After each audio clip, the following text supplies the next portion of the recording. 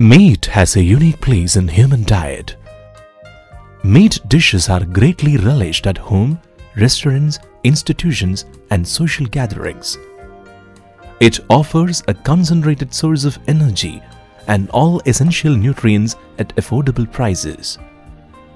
Meat sector is contributing significantly to the growth and sustainability of agriculture and economic growth in the country. Domestic consumption and export of meat have been witnessing an increasing trend in the recent years.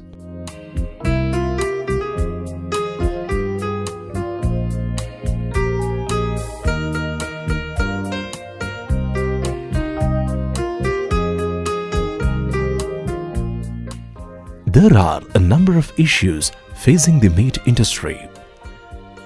The meat sector in the country is plagued by deficiency of meat purpose animals, inadequacy of hygienic slaughter facilities, lack of trained manpower, issues of adverse environmental impact, and consequent local dissent, lack of value addition, and product diversification and other policy issues.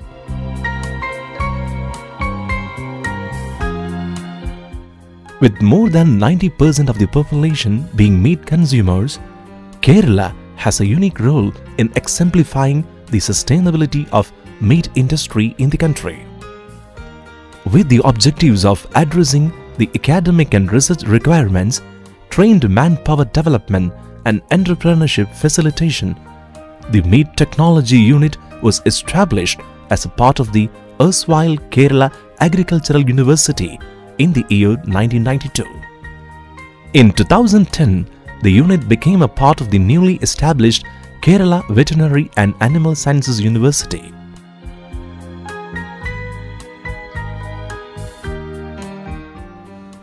Meat Technology Unit offers undergraduate, postgraduate and doctoral courses and imparts training to educated youth on wholesome meat production, processing, plant management and byproducts and slaughterhouse waste processing. The commercial activities of the unit are run under a revolving fund project of the university.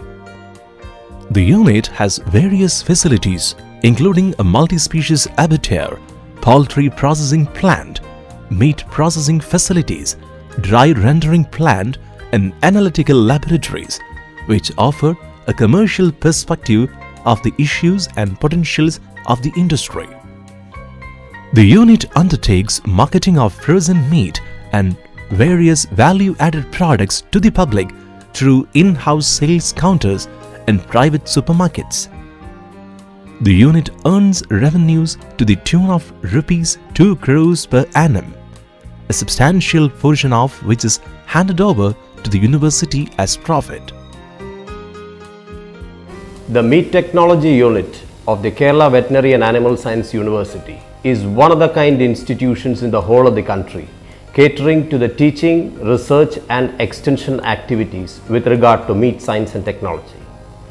This unit which has been designed in a very very fabulous manner has been established in the year 1992.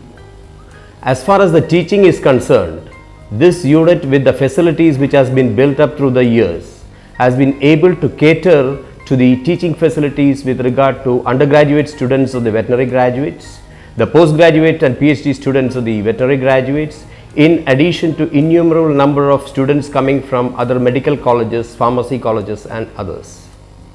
As far as the research activities of our institute is concerned, we have been able to draw huge amount of funding from establishments like DRDO, BARC, ICAR and other externally funded projects. And our research component has been built up through a very firm footing which has been laid through years of research which has been carried out in this institute. As far as the training programs are concerned, we have specially designed entrepreneurship development programs which cater to the unemployed youth of the area, the whole of the country. Then we also cater to the people who are looking in for employment and skill based training, skill acquisition and skill based training is another important area which we are now focusing on. With this built up, we, what started as a small unit way back in 1992 has reached a stage wherein we are expanding and from a mere 1.2 lakh revenue generation which we could make during the year 1992, we have now come to a stage wherein we have created a revenue of around 2 crore annually. Meat Technology Unit is having a multi-species abattoir which is useful for slaughtering different species of animals including cattle, buffaloes, sheep and goat, pigs and poultry. Per year we are slaughtering around uh, 1000 pigs as well as around 400 bovines per year and uh, we are selling different products as well as fresh meat and to the tune of around 100,000 kg per year and uh, the total revenue that we are earning per year is around uh, to the tune of 2 crores and uh, we are procuring animals from uh, different poultry farms, different uh, private farms, different government, government farms. The, wherever we are slaughtering animals from private farms, the, the farms are being certified or being inspected and recognized by our unit.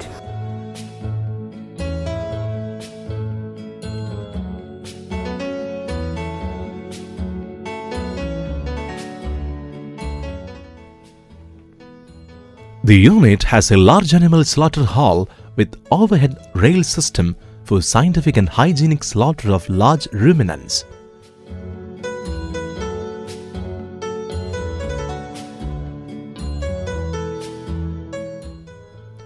Animals from farms are transported in covered animal carrier. Animals are unloaded quietly from the vehicle. In the lairage, they are properly rested before slaughter. Ad libitum water is provided during the resting period.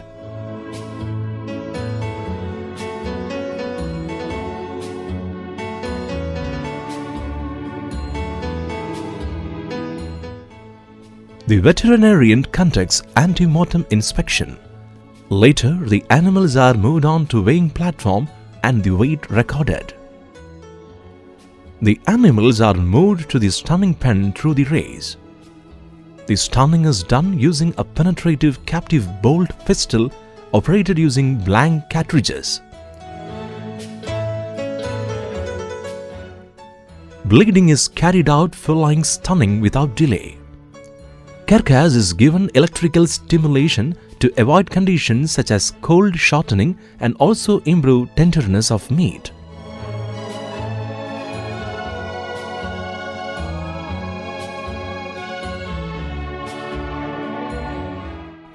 The dehiding is performed manually and decapitation is performed after flaying. The carcasses are eviscerated after the processes of rodding and bunging.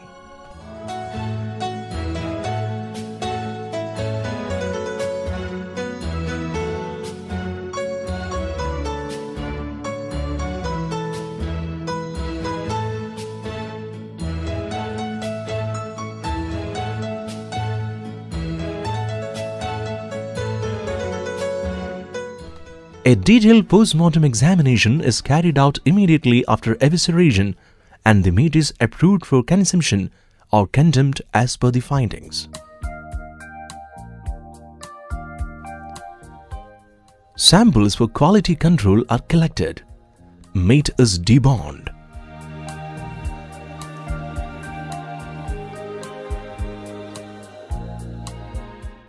The boneless meat is packed in LDPE pouches with labels and other statutory requirements. Edible offal are separated and packed along with the coated meat packets.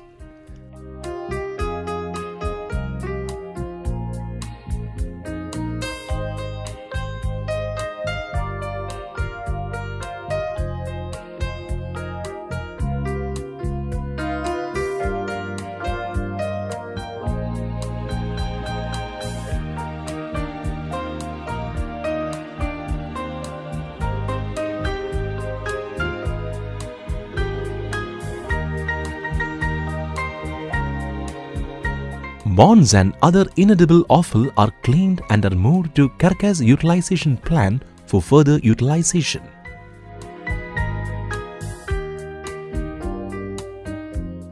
The pig slaughter hall has facilities for pre-slaughter electrical stunning, scalding, dehairing and semi-line dressing system.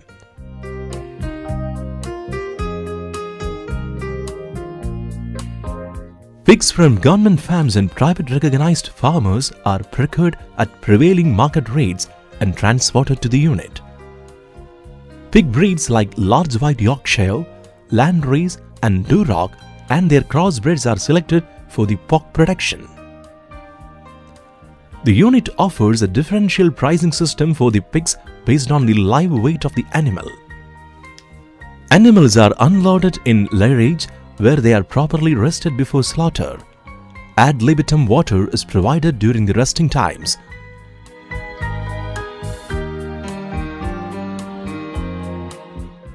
Ante-mortem inspection is conducted by the veterinarian.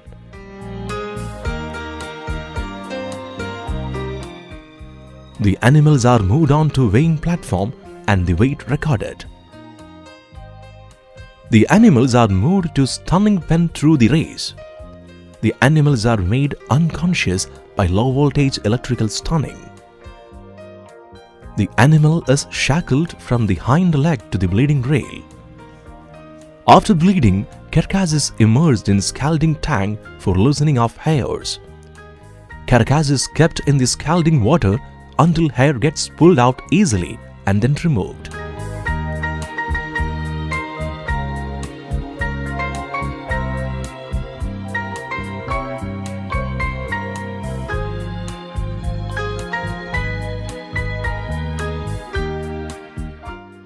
The hair is removed using mechanical dehairing machine or manually using a bell scraper.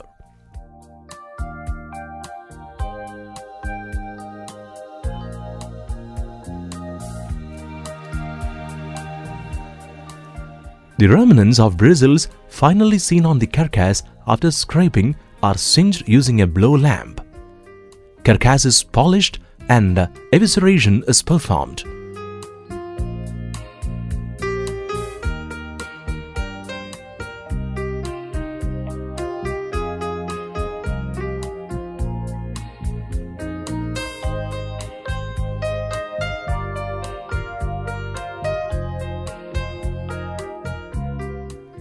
A detailed post-mortem examination is carried out immediately after evisceration and the meat is approved for human consumption or condemned as per the findings.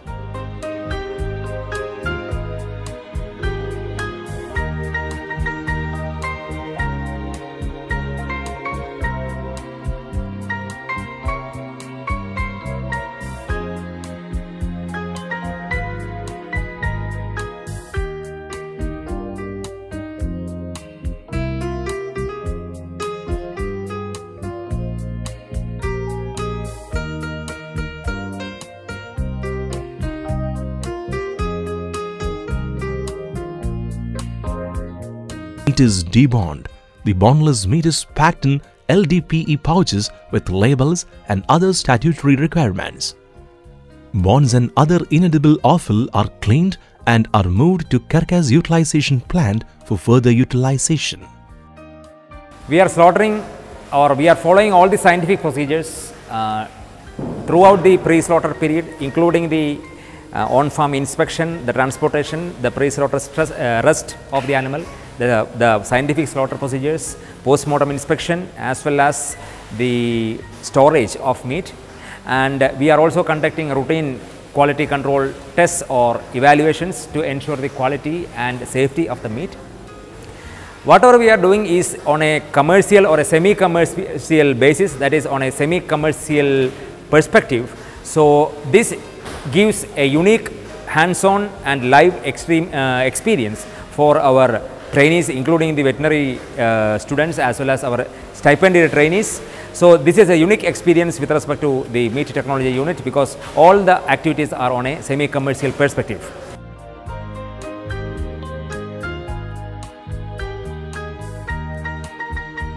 The Meat Technology Unit has a conveyorized poultry processing plant for slaughter of chicken, ducks and turkeys.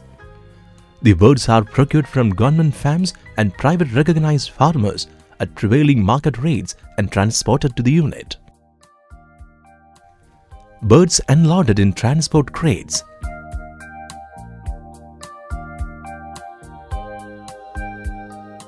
Veterinary ante-mortem inspection of the birds is performed and unfit birds are rejected.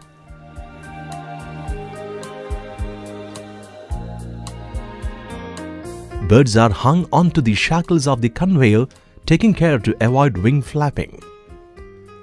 A water bath electrical stunning system is used for stunning of birds. The stunned birds are subjected to bleeding. The birds are scalded at the sub-scalding temperatures to loosen the hairs. This type defeathering machine is used for removal of feathers. Any remaining feathers are picked manually.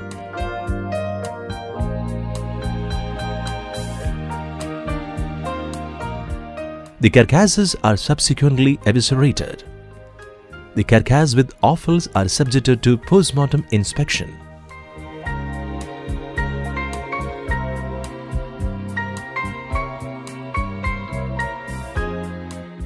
The inspected birds are washed and shanks removed. The dressed birds are pre-chilled with slushed ice in a chilling tank. The giblets are harvested and cleaned. The dressed birds are packed in labeled LDPE pouches.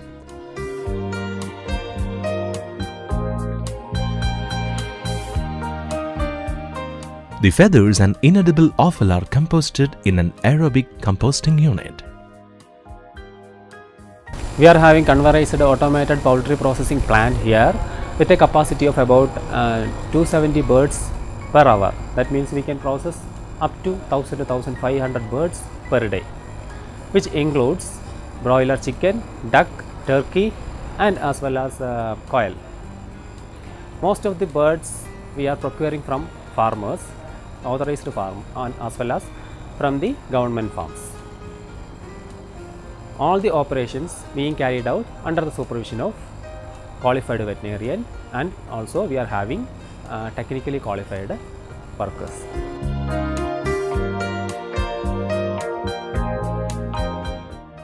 Meat Technology Unit has a well-equipped quality control laboratory, proximate lab for estimation of proximate composition of meat or meat products.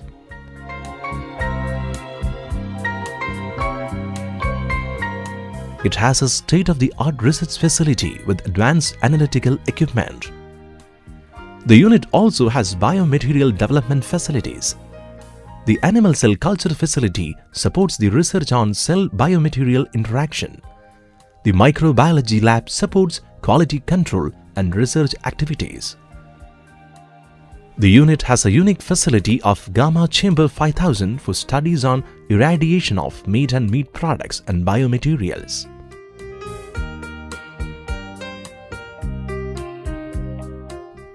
In addition to meat, Meat Technology Unit develops and markets various value-added emulsion-based and whole muscle meat products.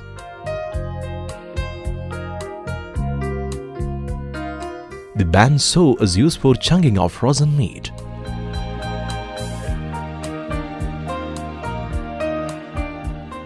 Blade tenderizer is used to improve the tenderness of meat.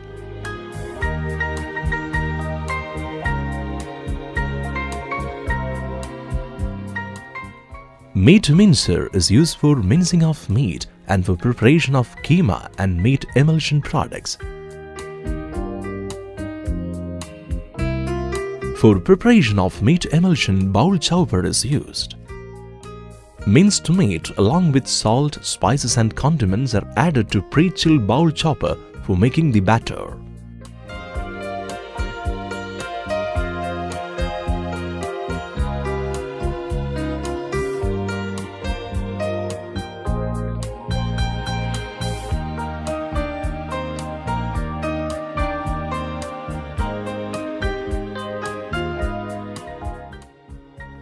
The meat emulsion is further filled in natural casings. Filled casings are then further linked and steam cooked before packing. Other products like nuggets, patties and kebab are prepared using meat batter of different formulations. This is the meat processing unit uh, where we do different types of value additions of the meat. In India, generally people prefer the fresh meat and they convert into curries, uh, kurmas, uh, biryanis, uh, pickles and other things. But in the recent trends, if you see, the people are preferring to have the western products and continental foods like sausages, burgers, uh, nuggets, meat rolls, uh, such products that people, uh, that people are preferring and there is a much demand is demand for such product is also increasing. So it shows a welcome trend for the uh, value added uh, producers, value added meat products producers or the industries who are involved in this, such uh, businesses. Uh, in, in uh, meat technology unit, we, we have totally around uh, 55 products, out of which we sell around uh, 28 products as a value-added products, and we have different categories of value-added products for the adults, childrens, and we are involved in making the products the tougher meats, or we are involved in converting the tougher meats uh, using the scientific technologies uh, into a value-added ME meat products.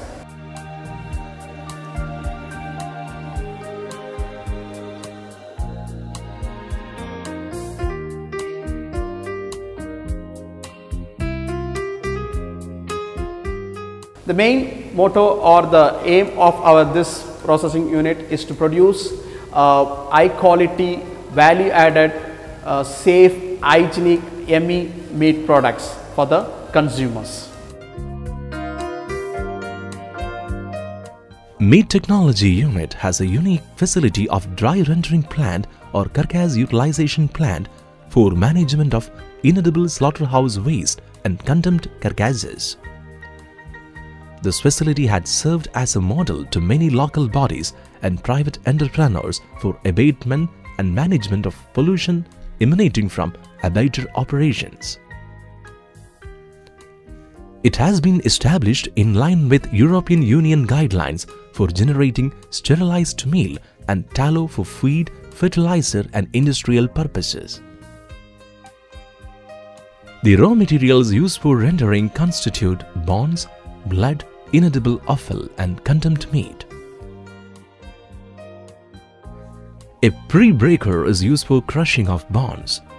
The bonds and soft tissues are then cooked with the help of steam in a double jacketed dry melter.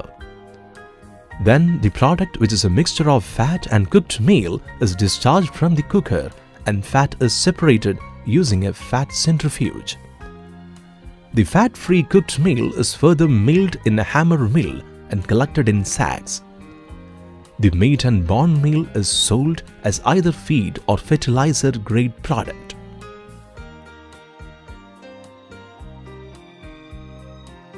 Meat Technology Unit is a facility licensed by Food Safety and Standards Authority of India and currently under the process of acquiring ISO certification.